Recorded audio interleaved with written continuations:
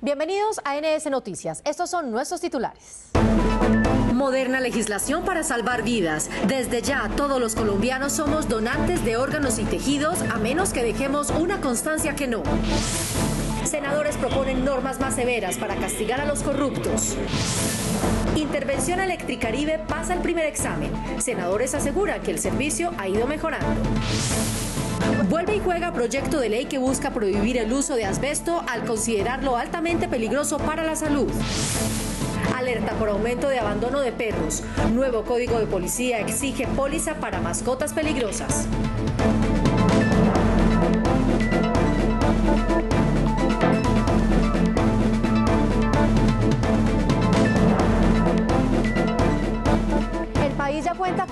Legislaciones más modernas de donación de órganos y tejidos. Un solo donante puede salvar hasta 55 vidas. La ley establece que todos los colombianos somos donantes a menos que dejemos constancia de no serlo. Marcela, y es que la mayoría de senadores opina que donar órganos es el acto más altruista de solidaridad con el prójimo. Desde el pasado 4 de febrero, todos los colombianos somos donantes potenciales de órganos y tejidos tras la entrada en vigencia de la Ley 1805 de 2016. Les preguntamos a los senadores si donarían sus órganos. El día que ya no estemos en este mundo, si los órganos pueden servir para salvar otras vidas, yo creo que debe ser un propósito de Colombia. Claro que donaría órganos. Ese es un servicio social vital después de la muerte que el ser humano puede seguir prestando. ¿Cómo así que nos entierran y nos creman con todos los tejidos y órganos y podemos beneficiar? Hasta 52 personas, salvar vidas. Pueden ser nuestro familiar, nuestro hijo, nuestro hermano, nuestro vecino, nuestro amigo. Ese es un deber ciudadano y humanitario de la mayor trascendencia.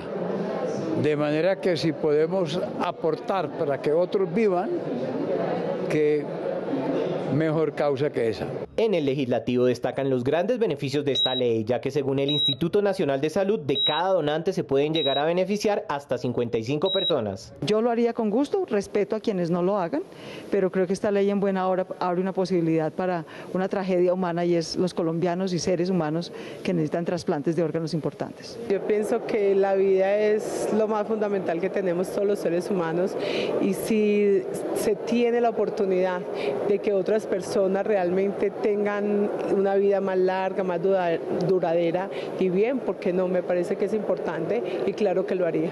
La situación en el país es dramática. Alrededor de 2.500 personas se encuentran a la espera de un órgano o tejido de los que en muchos casos depende su vida. Por eso es trascendental donar. Y lo hagamos no simplemente porque la ley nos invita a que lo hagamos, sino que lo hagamos como un acto personal, como un acto de compromiso, como un acto humanitario, como un acto de desprendimiento hacia el prójimo. Uno cuando se muere nada se lleva, ni siquiera los órganos, de dejar que esto se pudra en la tierra o queden incinerados en un órgano crematorio, pues es mejor que salven vidas.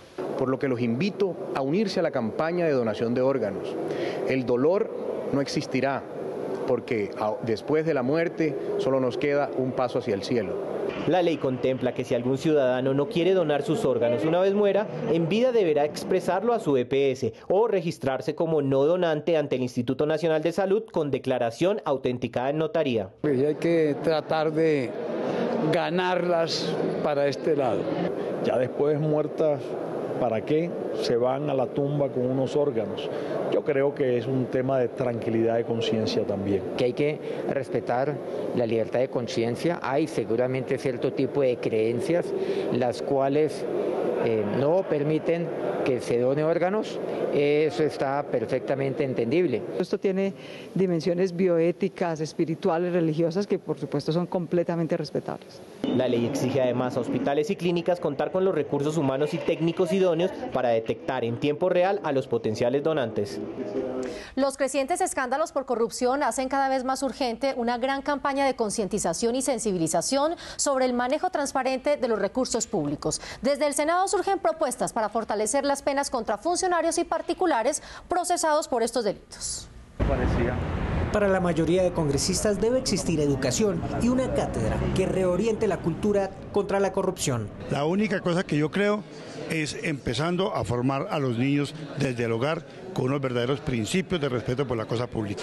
Eh, fomentar eh, la cultura de la legalidad y por supuesto eh, todo lo que tiene que ver con el tema de la financiación de las campañas, que ya va a ser radicado un proyecto de ley en el Congreso de la República.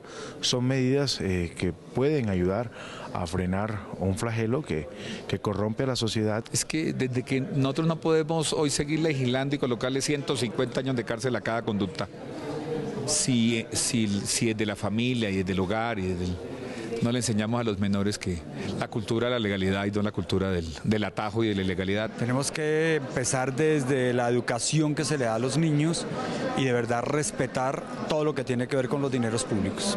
Estas corrupciones tienen, tienen causas conocidas y si no se atacan las causas no se podrán modificar, eh, no se podrán modificar los, las consecuencias de lo que está pasando. También que se castigue al político y al empresario corrupto. La pena máxima para los corruptos es que les quiten la plata, que les permite, que les quiten los recursos que ellos adquirieron de manera ilegal y fuera de eso que tengan que indemnizar al Estado. Eso sí le duele a los corruptos. No rebaja de penas. Segundo, centro carcelario, nada de cárcel por cárcel. Tercero, devolver los recursos. Pero también también hay que pagar el daño causado. Exigir que quienes se roben los dineros los restituyan restituyan lo robado. Yo creo que eso podría ayudar a que la gente no siga robando tanto. Que los políticos tengan que tener toda la información pública, darla y si no la dan, eh, reciben sanciones severas. Y por otro lado, que las empresas que consigan contratos con actos de corrupción se les pueda declarar eh, caducado el contrato sin necesidad de indemnización. Pero sobre todo que los organismos de control investiguen a fondo. Los entes de control deben investigar a fondo, de llegar al final de las investigaciones. Y también nosotros aquí debemos elevar las penas a todas las personas que, pues por supuesto, entran a estos actos de corrupción. Sin justicia, sin organismos de control, es como los gatos haciendo lo que o los ratones haciendo lo que les dé la gana con el queso. Por lo tanto, lo que tenemos que entrar a considerar profundamente es un cambio institucional a partir del 18. Y yo creo que también hay que pedirle a los organismos de control mayor eficiencia en sus investigaciones, sanciones rigurosas que realmente permitan acabar con estos flagelos y estos fenómenos que hoy desafortunadamente no dejan sino mal parado al país. En Colombia la justicia es muy lenta, a veces los órganos de control son muy lentos frente a la necesidad que se quiere, hay que fortalecer la investigación y se requieren adicionalmente ideas más novedosas para, por ejemplo, controlar todos los flujos financieros internos y externos de los corruptos porque ellos ganan por plata, hay que taparles la forma de, acceder a, a esa plata. Desde diferentes bancadas se está planteando un pacto nacional contra la corrupción.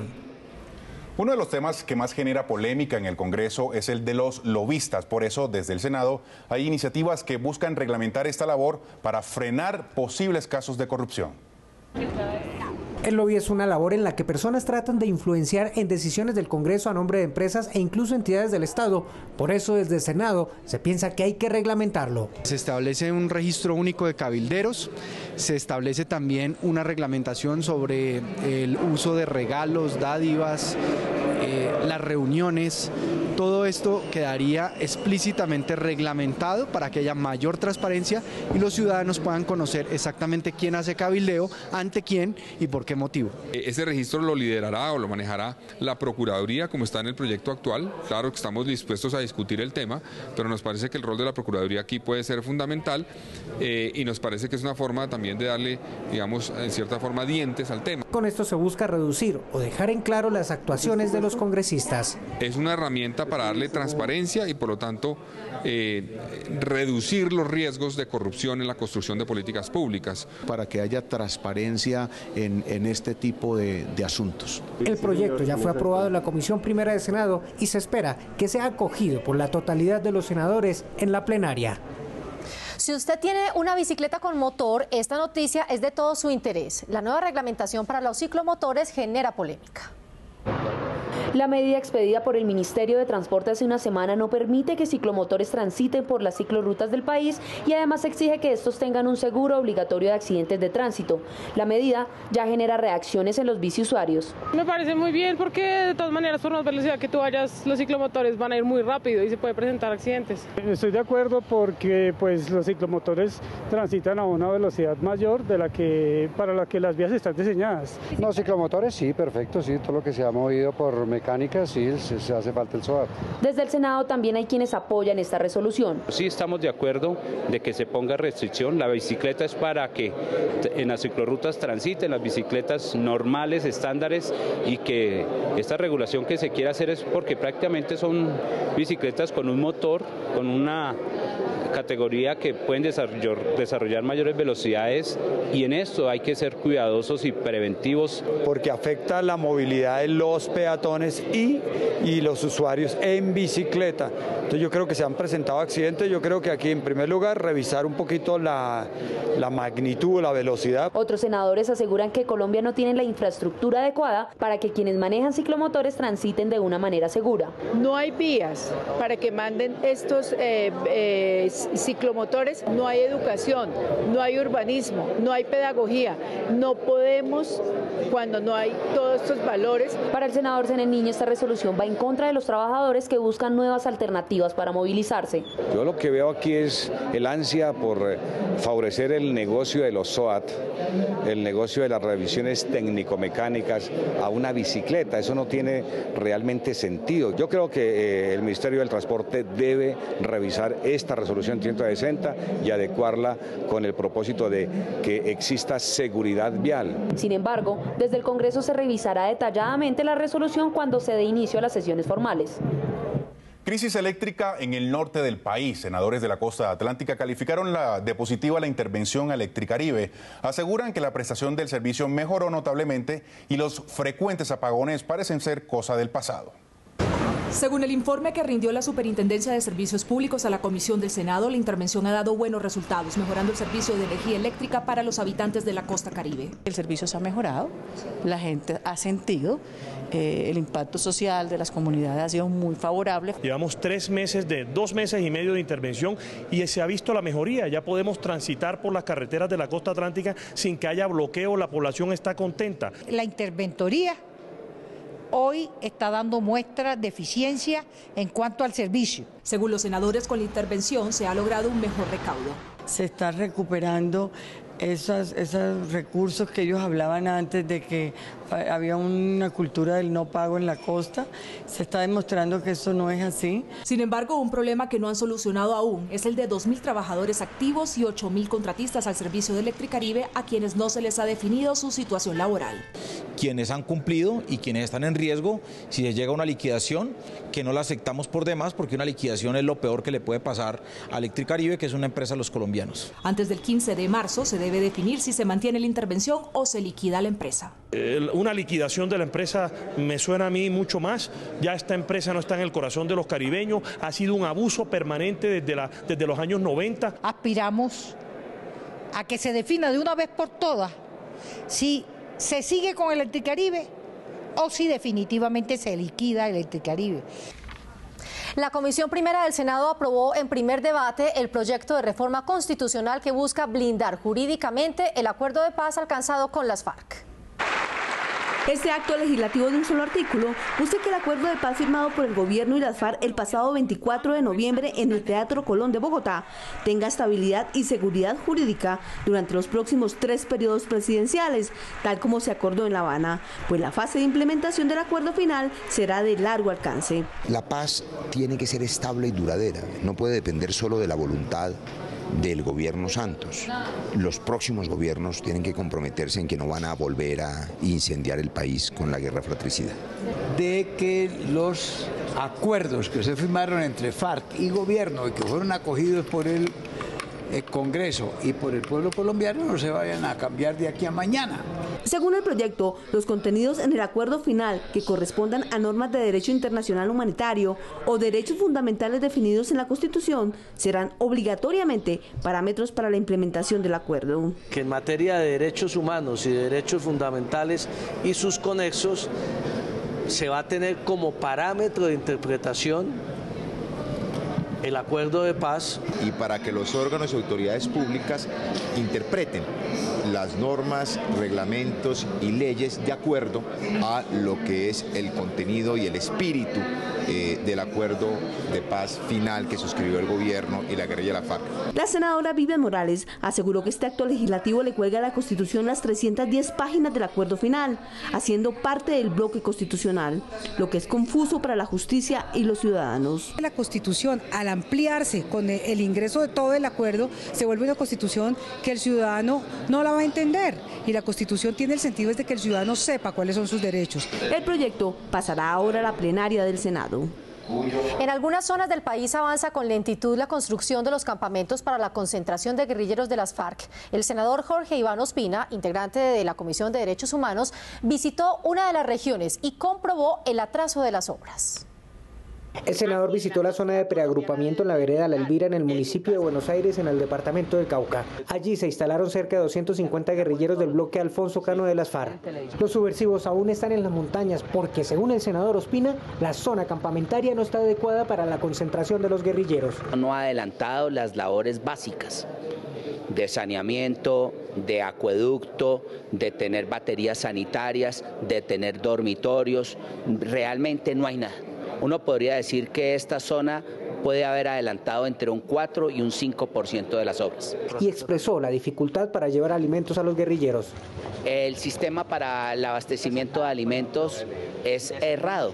Traen la carne desde los supermercados de Popayán y Cali cuando pueden comprarle el ganado a los, a los miembros de las veredas compran los productos agrícolas en las tiendas cuando pudiesen comprar a los campesinos, las gallinas, los pollos, los cerdos. El senador le pidió al gobierno nacional que cuanto antes cope con fuerza pública las zonas dejadas por las FARC para no permitir la entrada de otros grupos guerrilleros y vacina a la zona.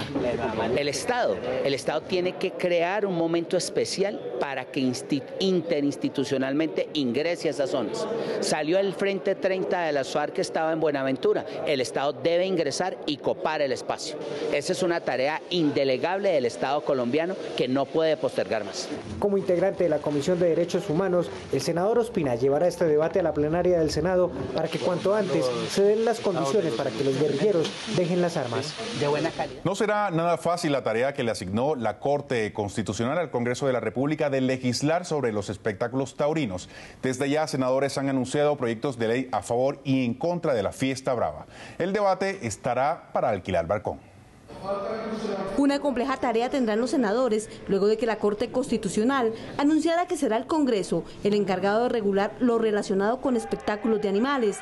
La discusión no será fácil. Aquí hay que ser muy responsable frente a lo que es una tradición cultural muy acendrada en el país y en otras latitudes que es precisamente el espectáculo de los toros. La regulación debe de ser en el sentido de que el animal no se maltrate. Hay tres proyectos de ley en este momento presentados que van a entrar a discusión del Congreso de la República. Para algunos senadores la Corte se equivoca, pues el tema ya se había legislado. Ya hay una ley que salió del, del Congreso, ha habido un fallo de la misma Corte Constitucional donde se pronunció diciendo que se respetaba por tradición cultural tales espectáculos. Otros aseguran que la controversia entre los amantes de la tauromaquia y los animalistas tendrá que ser resuelta a través del diálogo antes de legislar. Con aquellos líderes de los sectores que Mm, tienen este tipo de espectáculos como gallos, corralejas, eh, corridas de toros, coleo, etcétera, etcétera. Senadoras de la Orinoquía piden se respete la cultura ancestral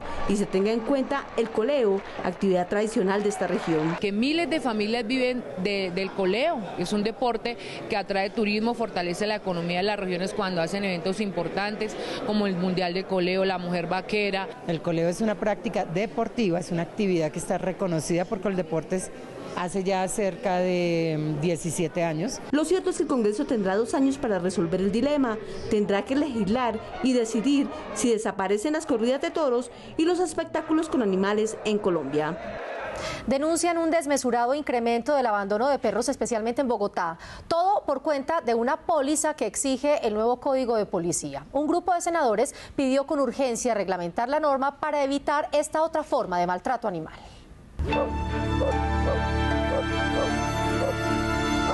Primeros damnificados con la aplicación del nuevo código de policía fueron más de medio centenar de perros de razas catalogadas como peligrosas, cuyos dueños los abandonaron. Voceros de las ONG dedicadas al rescate y cuidado de mascotas aseguran que la exigencia de la póliza para su tenencia y las altas multas si no se cumple la norma habrían dejado a varios de estos animales en la calle. Todos los días encontramos amarrados a los árboles, a los postes, cinco o seis perros pitbull. Todos los días estamos buscando ayudas y el problema es que los rescatistas como yo ya no tenemos dinero ni presupuesto para recibir más. En el Senado de la República varios legisladores cuestionaron la aplicabilidad de algunos puntos del Código de Policía en materia de tenencia de mascotas. Y son medidas que en últimas son populistas, eh, que seguramente llaman la atención pero que causa un efecto absolutamente contrario. Y lo que hay que hacer es reglamentar estrictamente pues para que precisamente no haya abusos, que se establezca una tarifa eh, pues que, que, no podrá ser de esas tarifas exageradas porque pues si no nadie va a cumplir. El nuevo código de policía exige a los propietarios de las llamadas razas potencialmente peligrosas tomar pólizas de responsabilidad civil de mascota por una cuantía mínima de 50 millones de pesos, que significarían al menos el pago de una prima de 100 mil pesos. La más baja que cubre 50 millones estaba en 78 mil pesos, incluido el 19% de IVA. Si tú vas hoy día a adquirirla, te están cobrando 107 mil pesos por los mismos 50 millones. Eso es un costo adicional y pues la situación no está para tanto. Pero otro problema que está causando el abandono de estos perros es por la estigmatización que los clasifica entre las razas peligrosas como Pitbull y Bull Terrier. No, pues yo no le enseño agresiva, yo le enseño a convivir con la gente. El peligroso es el ser humano, porque nosotros le educamos mal. Para quienes tienen este tipo de perros, las medidas que se están tomando les parecen exageradas. Según el nuevo código de policía, esto no lo puedo volver a hacer. No sé cómo cansar a mis animalitos, no sé cómo sacarlos a hacer ejercicio. Debo tener de tiempo completo tradilla y bozal. Entonces el perro no va a poder salir de la casa, que es otra forma de maltrato, de no, de no poder sacar al, al animal a, al aire libre. Yo creo que hay que revisar esto, si es necesario modificar la ley para que podamos también poner en cintura a los dueños en eso, pues hay que hacerlo. Por quinta vez será presentado en el Congreso un proyecto de ley que busca prohibir el uso de asbesto. Este producto usado en la fabricación de materiales para la construcción es considerado uno de los principales causantes de cáncer.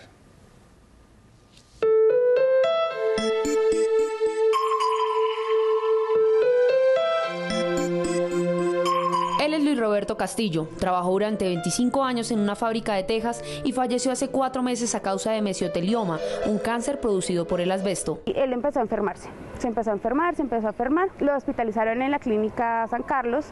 Allá le hicieron una cirugía, le sacaron mucho líquido del pulmón. Eh, la doctora llamó preocupadísima que si nos podíamos acercar al hospital y nos dijo, qué pena señor Roberto, yo lo operé, no le creí que, que tuviera cáncer, usted tiene mesotelioma, malign, eh, mesotelioma.